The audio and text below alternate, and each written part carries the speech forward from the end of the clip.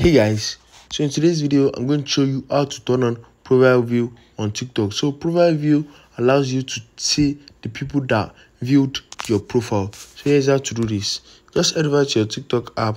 This is the and you need to click on your profile right here.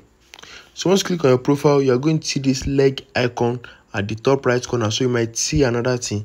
Just click on it and you're going to see profile view. So just click on the settings right here.